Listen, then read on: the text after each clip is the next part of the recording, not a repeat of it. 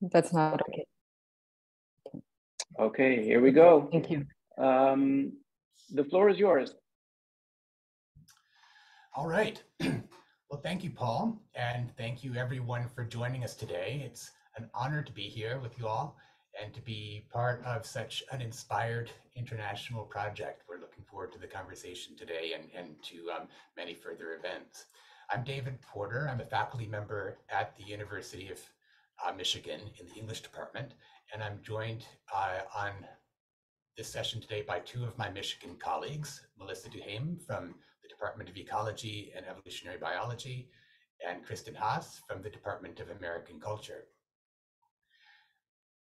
Over the past several years, the three of us, along with a few other faculty colleagues and a sizable team of graduate students, some of you whom you see here, have been developing a place-based interdisciplinary research and engagement initiative called the Detroit River Story Lab.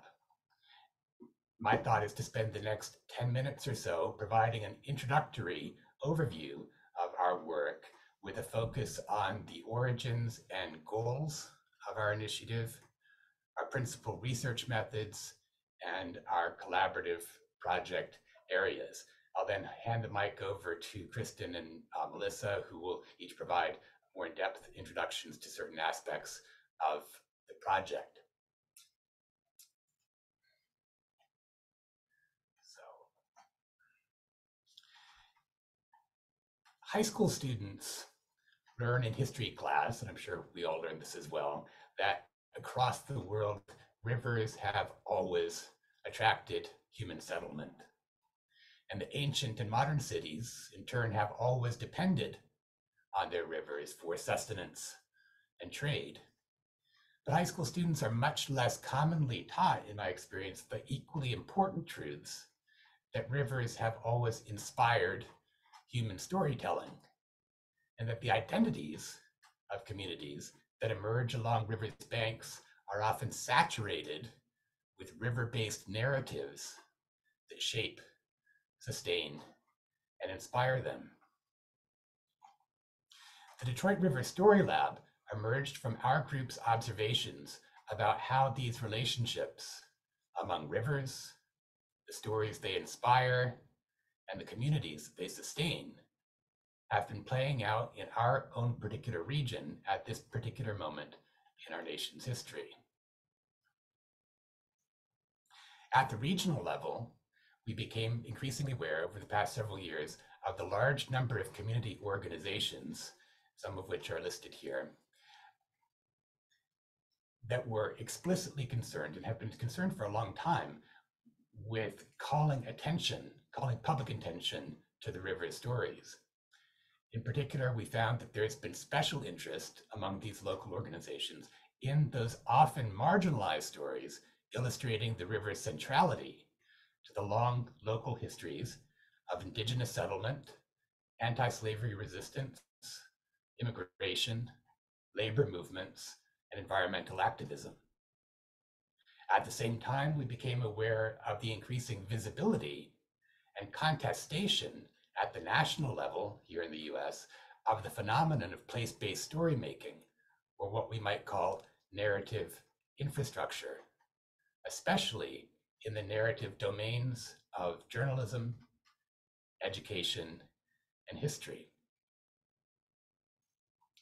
Over the past several years, as all of you know, concerns over narrative infrastructure in all three of these areas have attracted a great deal of attention and conflict as more and more people have come to recognize the critical importance to democracy and civil society of the place-based stories we tell about our communities and our nation.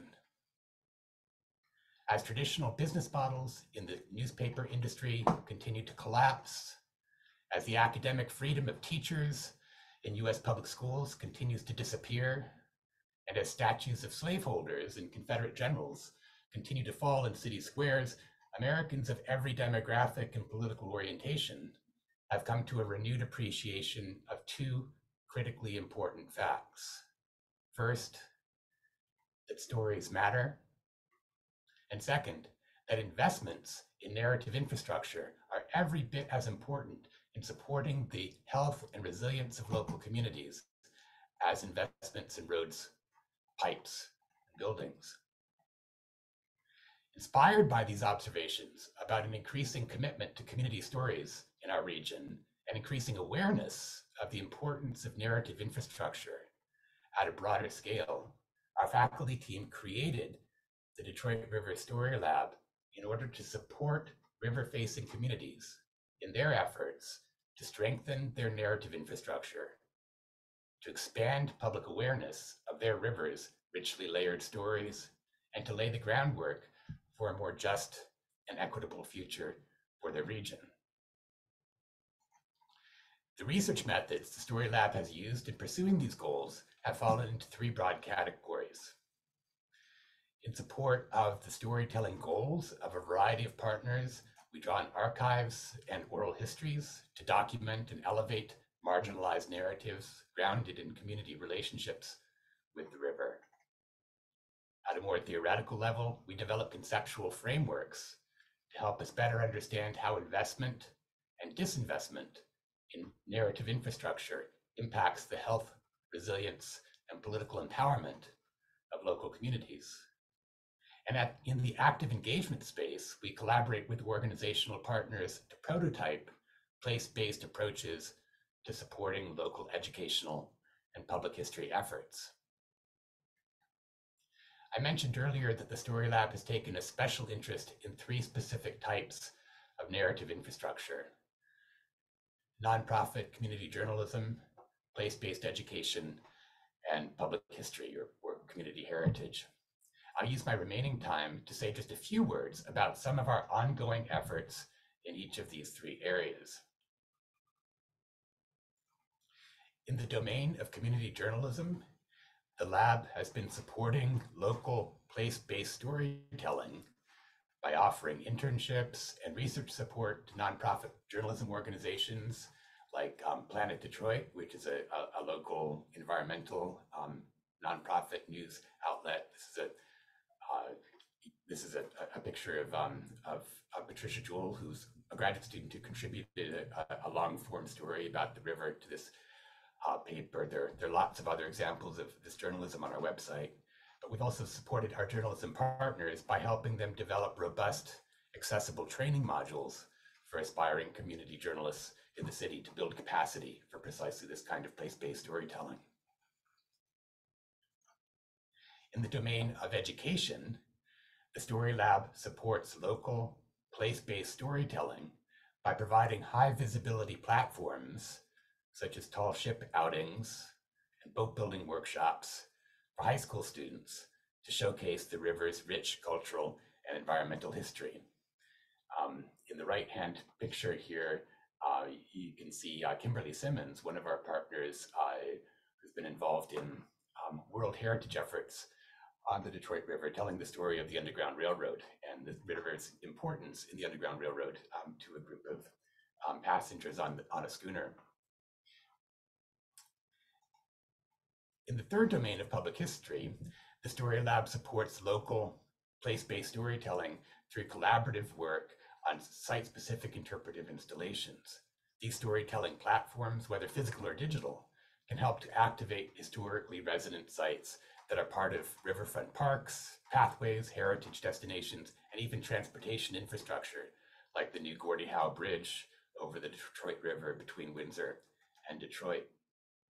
One of the Story Lab's newest projects in this public history space is the design of what we're calling a digital memory commons, specifically intended to support the collection, curation, and elevation of previously marginalized stories of Detroit River communities.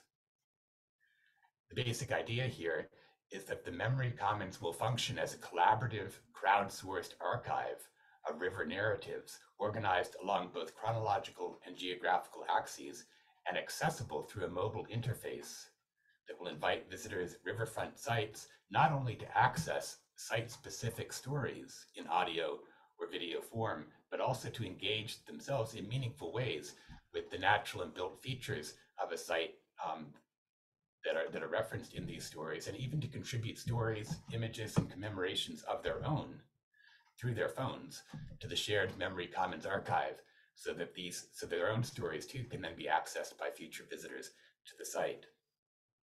The Digital Memory Commons project supports the long-standing efforts of a variety of municipal, regional, and even international partners to develop more flexible and inclusive approaches to interpretation and commemoration at local sites than our traditional reliance on marble statues and bronze plaques typically make possible.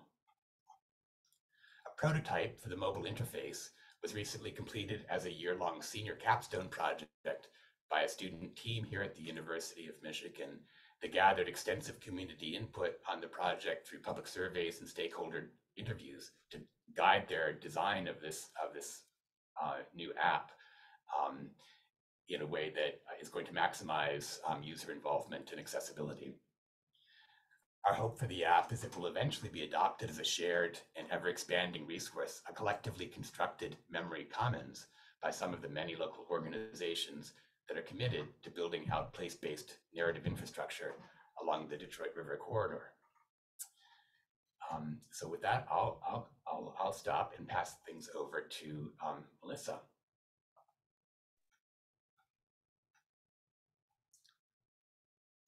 Okay, great. Thanks, David. So what, what will follow now, I will talk a bit about the place-based education, uh, educational development and, and focus. And then Kristin will, will follow up with the last two narrative project areas, community heritage and, and nonprofit journalism. So you can get a, a taste for how this, this looks in practice, um, in addition to the, the narrative, uh, more the more infrastructure description of the, the narrative development. Okay, go ahead. So for place-based education, um, the process I'll describe, it's, it's largely motivated or mo modeled after principles of community-based participatory research and practices of environmental justice movement. And I think you'll hear that as I reference um, the cycle of uh, identification of need and, and motivation as, and, and, as well as the process and implementation of what we created in this space. So uh, the um, place-based experiential learning opportunities that we've been uh, developing for high school students in the district, um, in the districts adjoining the river have uh, taken the form of uh, tall ship outings, tall ship being what you're seeing in the slide here, and boat building workshops to invite these youth participants to connect with the river in different forms and uh, through different mechanisms and with its rich uh, cultural and environmental heritage. And so as I, referenced at the start of this slide, this, this process is modeled on at the heart community partnerships. And I'd say that's where we invested early and heavy, heavily, um, and really took this kind of slow tact to preserve and respect the nature of human-human relationship and partnership. And I think from, from my vantage, that has been the number one um, reason for, for any successes that we've felt afterwards uh, or experienced afterwards in this project. That, that trust building has, has proven to be um, really central to all of the, the pieces that unfolded next.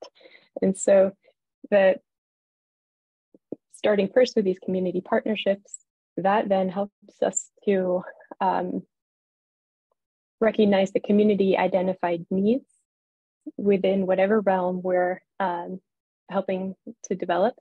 And then uh, what follows is this process of co-design and co-creation of outcomes. And so in the realm of place-based education, um, we have things like uh, youth freshwater ecology immersion and boat building workshops and place-based environmental sciences curriculum for local schools as some of the outcomes of this uh, community uh, uh based um, process.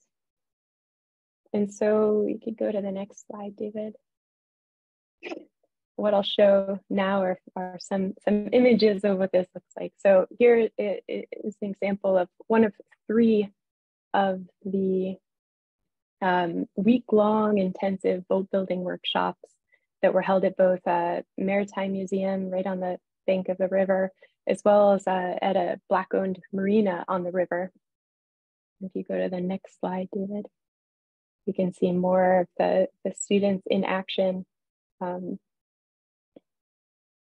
building. So this is the skiff of the skiff and schooner project, building their boat. So they started the, at the beginning of the week with, with wood and tools and, um, and some guidance from uh, professional boat builders that come on site to, to kind of take them through the process. And then the next slide, one thing I want to want to note, I mentioned that this the image that you're looking now is um, is in the on the on site at uh, Riverside Marina, which is um, owned by a Detroiter, Jason McGuire, McGuire and I uh, wanted to note the significance of um, this uh, event and, and its location in that uh, this is one of only 11 uh, Black marina operators in the world. And so this really is a fantastic opportunity to um, kind of keep the ember glowing of the the importance of of this place and this space along the black uh, along the um, Detroit River and inspiring and, and sharing and holding this uh, maritime these maritime activities in the in the current uh, culture. And the next slide. And so here you see an image of the the, the participants uh, rowing their newly built skiffs.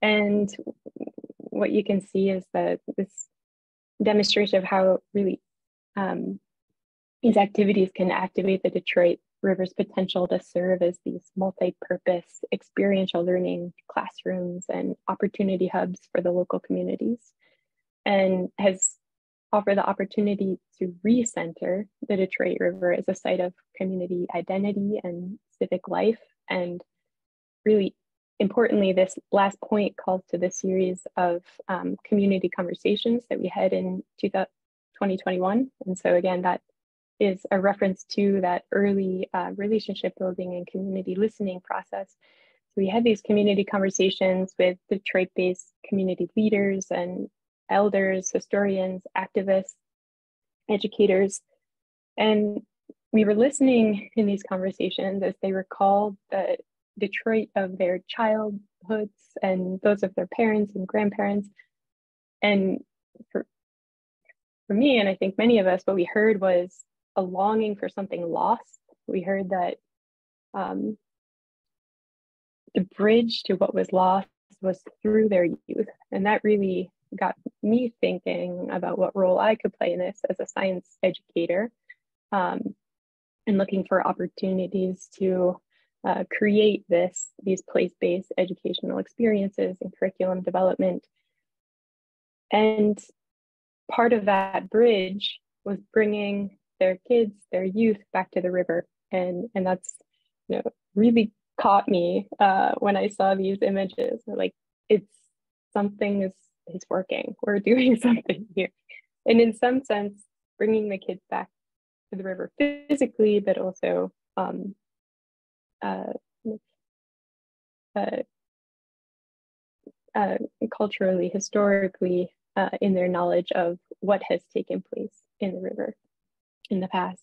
So we heard from teachers whose, for instance, students grew up blocks from the river but hadn't touched its waters. And these were the types of narratives that early on inspired the series of place-based educational experiences. You can go to the next slide.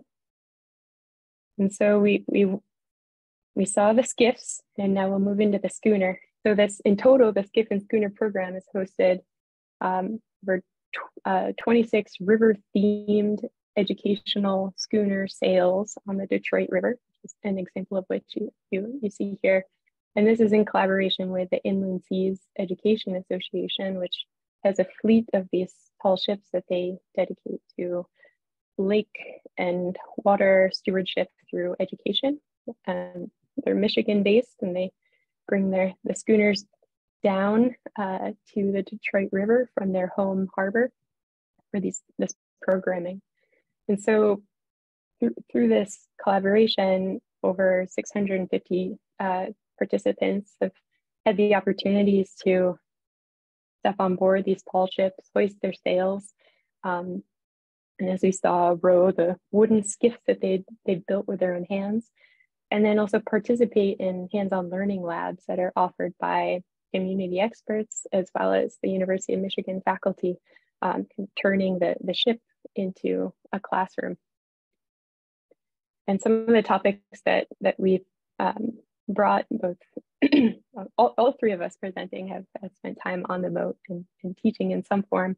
We talked about topics ranging from principles of buoyancy to plastics pollution and climate change, as well as the resurgence of uh, the Great Lakes sturgeon, which is um, a, just a phenomenally impressive type of fish. It can grow, see what it be, three to four meters long and, and live about 150 years. So that's like a very charismatic uh, species that can capture the interest of, of the student. Um, the different layered histories of, of the island and or, uh, the uh, river and surrounding shores and its centrality in the Underground Railroad and as a path to freedom for, for enslaved people, which we'll hear more about. So those are all topics of um, curriculum that um, we've both developed and shared, co-developed, and will um, preserve to be uh, passed on in future uh, educational experiences. You can go to the next slide. In addition, we had the opportunity to, to take um, some of the students on an even longer kind of extended three-day schooner sail, camping on an island in the Great Lakes and participating in ship-based research and learning with alongside U University of Michigan students. And at a moment, uh, I'll share is a comment from one of the Detroit high school students that joined us for that trip. Uh, he was waist high in Lake Michigan under a star-filled sky and and just said, wow, this is the kind of moment you remember for the rest of your life. And that was narrative in the making. So ultimately, I'd say the vision for this program, which is shared with the Detroit community leaders, is for uh, us, I think, for the University of Michigan presence to be decentered. And I think one of the strategies for this is, is training the next leaders from within the program. An example where I, I think we've already seen kind of some of this traction is this past summer. Um, the Detroit River Story Lab supported an intern to, to train with the Inland Seas team and to gain uh, seamanship skills to be uh, one of the crew. Um, and and, and when you're a crew on a ship like this, you are uh, directly participating in the, the education and the lake stewardship. You're not just a crew, you're really core to the whole public facing team. It's a small, small boat. All right, the next slide.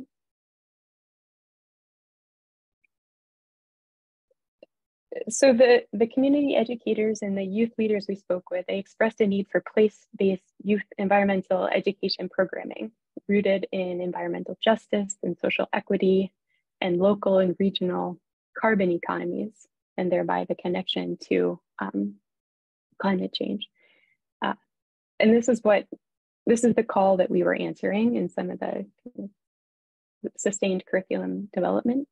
And in the next slide, you can see um, two of the graduate students that, that worked or are actively working with us on um, this type of uh, curricular modules uh, centered in, for instance, regional carbon economy. And so what you see here is the Detroit River Corridor carbon emissions map. And so this is an interactive map that was developed um, by graduate student Gina Strada, you see pictured there, with, develop, uh, with teachers and educators in mind. And the idea was that it would be used as a, an instructional tool in classrooms. So here we have a tangible product that we can, um, that will sustain uh, and can be used by teachers in other in other learning settings for kind of this more hands-on approach to understanding in this very place-based focused um, framework major sources of greenhouse gas emissions right in the Detroit River corridor and where they're located. And so this now is, is um, an example of a, a, resource that can be used by other um, members of our curricular development team, like Alice Campbell and Darren Stockdale, also pictured here, um, for education and curricular modules that can be brought into classrooms and um, and really anyone in the world could use these now. So on the next slide, closing up, but I wanted to summarize how the Story Lab has become a, a building grounds for developing these sustained community relationships that have given rise to new pedagogical approaches to answer some of these community recognized needs and ultimately as a model for how to use narrative building as tools of environmental stewardship. I'm going to close with a, a minute or two on the next slide. David, you can push. You can you can see that um, here uh, it's going to speak for itself. Go ahead and push play. Hopefully the sound, is there sound?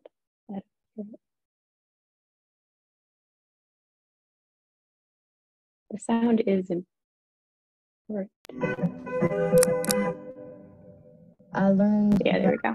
the Underground Railroad. I learned about like the plankton in the water and I learned about climate change. The Detroit River Story Lab is a new initiative at the University of Michigan that partners with local organizations to help local students reconnect with the river, recognize the river as the source of their own local community's heritage, claim a sense of ownership in the river, and to find inspiration in the river and its stories for their own future educational and career pursuits. I didn't really think Detroit was all that special at all. I really thought it was just a regular place, nothing special, no history for real. But it's a lot of history to Detroit. They need this in the community. More kids need to be a part of this.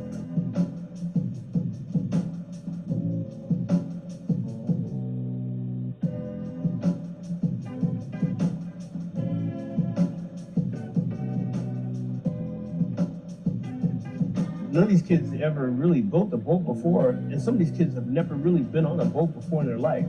And wanting to get more kids in the city of Detroit interested in natural resources careers, and also learning about the Detroit River and the waterways. The Detroit River is an important story uh, here in Detroit, and the kids, they live in Detroit, so they need to know about Detroit. You may have an interest in doing stuff um, as a career, working with the river, you know, create more opportunities for young folks like me.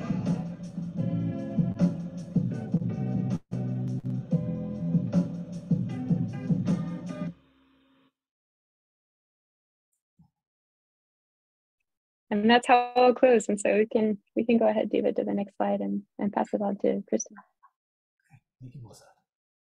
Thank you. And I'm gonna um, first say so wonderful to be here. I'm going to try and move kind of quickly so we have time for um, some sustained questions. I want to do two things kind of quickly. I do want to do, as Melissa said, talk about the other elements. So, the three elements of our narrative infrastructure um, plan are place based education, community heritage, and nonprofit journalism. And I want to talk briefly about community heritage and nonprofit journalism a little bit more, although we can talk about that in the Q&A.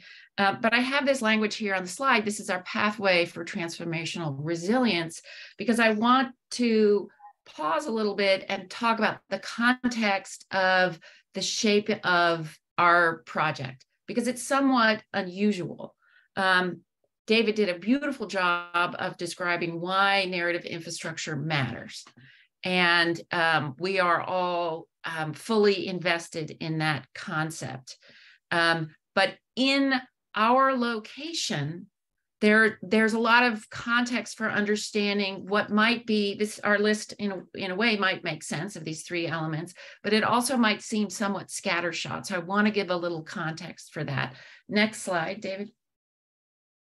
Some regional context right? The detroit river is all of this water that you see north of um, the state of the city of Detroit, which you can see, um, David, could you just put the thank you, um, runs through the Detroit River. And the story of this place is a story of um, occupation, um, French, British, US occupation of native land. It's also a dramatic story of extraction Detroit becomes Detroit, the Detroit River becomes important because of the natural resources that are available to be extracted along in, in this entire super rich, mineral rich, and um, timber rich uh, area that you're looking at. Um, next slide, please. And that extraction enables the building of the city of Detroit. And, and the building of the city of Detroit is uh, the story of the uh, of um, the development of industry. The river that we talk about um, is fascinating in Detroit because it was built to be used by industry. Um, there are more parking garages still along and industrial sites along the rivers than parks by a dramatic factor, although partly we're trying to change that. Um, but Detroit is a city that it was built, boomed on extraction, and then was really in a very brutal vice grip kind of way um, defined inequality in the United States, defined inequality in racial terms in the United States. And this, if you're a US, US historian, this is a very familiar image. This is what we call a redlining map. But essentially, what happened to Detroit happened in all other American cities, but it happened to Detroit on a very dramatic scale, which is that there were federal laws that were passed that limited Black access to real estate ownership oh, um, and to, to good housing. So the redlined areas are areas that were uh, in which Black people lived and um, in which you could not get a loan to buy a house. So to understand sort of this super rich, the tension between super resource rich river moving all of this material generating a, a global transformation in the economy. Um, and, and at the center is this very tight, um, mandated inequality. Uh, next slide, please. So in our region, we have the problem that our university helps the Detroit to death. That, that we have a long pattern of resource-rich universities in the region coming in to help Detroit. And everything that we do in the service of the larger goals of thinking about climate change, sustainability, resilience, all of that has to be filtered through these uh, lenses because the there is no answer for a better river, a better climate, uh, in Detroit that involves outsiders coming in and telling Detroiters how to solve their problems. There is a blank slate problem. People from outside to, tend to come in and see Detroit as a blank slate on which they can enact their experiments about whatever it is climate change, sustainability. Um, so this project is, is unique in that, and, and all credit goes to David Porter in that it is designed to lead from the back seat. Next slide, please. David has developed partnerships with people. Narrative infrastructure is something that we have identified as being the path forward for better relationships with the river, better stewardship of the river, broader steward, better, broader stewardship of the regional environment. Um, but in order to do that in our context, not only did we have to identify um, narrative infrastructure as the key, but we had to take a back seat and really uh, understand ourselves profoundly as people who were enabling other people to tell their stories. We have all of these skills around storytelling, and we understand the power of these narratives. But we also really understand that the stories that we need to tell are not our stories. They are the stories of the people who have been caught in that vice grip of inequality and disinvestment. So, yielded a variety of collaborative work products and public events in support of local narrative infrastructure. That's our job. Next slide, please. And this language, investing in narrative infrastructure, then means elevating and celebrating community stories, especially those traditionally marginalized, and supporting projects that incorporate them into our understanding of places and our attachment to them, right? So again, just emphasizing the, the work that we are trying to do is support and raise up voices, um, not um, to create new narratives ourselves. Next slide, please. So Melissa has talked about the shape that this took in the place-based education. Um, being mindful of time, I'm going to be very quick about the community heritage piece and the nonprofit journalism piece. Next slide, please. These are a couple of images of um, Ed Dwight, who was the first African American astronaut in the, in the United States. Um, his sculpture of um, commemorating the Underground Railroad. And for those of you who aren't familiar, um, the banks of the Detroit River was the terminus, the end of the Underground Railroad. The goal was to get from Louisiana through this horrible, arduous process to the site where this monument sits now and get across that river, which is into Canada.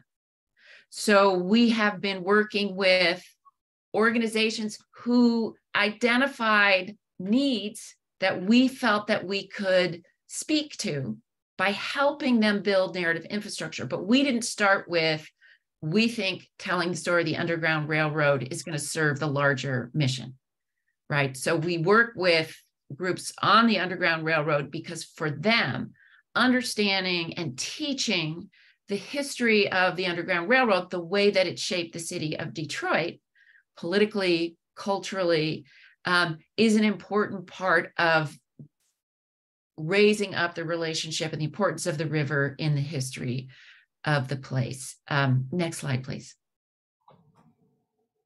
We have also been working to develop, this is a, a community heritage resource map, identifying historic sites that are of value to people in the community um, and making making the kinds of sites that they are broadly available.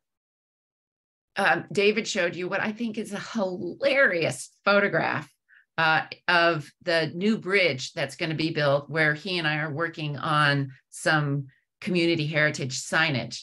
But when when you put up that image, David, I thought that's such a beautiful way to represent what we're up against, because the that bridge in the image that David shows, looks like it goes from one lovely rural side of the river to another lovely rural side of the river. And in fact, it goes from, you know, the, the kind of pollution that had American rivers burning, you know, t- not that long ago, and dense population on one side to dense population and pollution on the other side. So the work of the community heritage is, right, telling the stories that are mitigating against the fictions like like that was represented in that photo. Next slide, please. And this, um, if you can see along the riverbank, there is a concrete pathway. This is another, we have been working to um, add signage, develop the historical context for this river walk, which is an important um, project in Detroit that has been quite successful in returning people to the site of the river. Uh, next slide, please. And finally, just in the category of nonprofit journalism, this is the CEO, Donele Wilkins of the Green Door Initiative, and the young woman who David showed earlier, um, Patricia Jewell, uh, has written a couple stories about her. So the job is not to come in and for the University of Michigan student who's part of our partnership to um, tell about her research in the nonprofit journalism that she's doing. The job is for her to come in and lift up this woman who is a longtime activist. Detroit has a very rich history of environmental activism um, organized and carried out by African Americans in the city. And our contribution in this larger context can be to lift up her voice, um, to use our resources to help her be heard in a way that she might not otherwise be heard. So that was very abbreviated, um, but I want us to have time for questions, but I hope it gives you a sense of sort of why we are shaped in the way that we're shaped and a little bit of what these last two pieces of our project do. Next slide. And I think now we can open it up for questions. And I'm happy to talk more about, um, all of us would be about the, these last two elements, the community heritage and the nonprofit journalism, but I think better to open it up to questions now. Thank you very much to the Detroit River Story Lab team for a very inspirational uh, presentation. And uh, uh, I'd like to thank you for, for going first in our presentation series and also for this wonderful presentation, which I'm sure uh, will trigger a lot of uh, comments, questions, feedback. So I'm going to stop the recording now.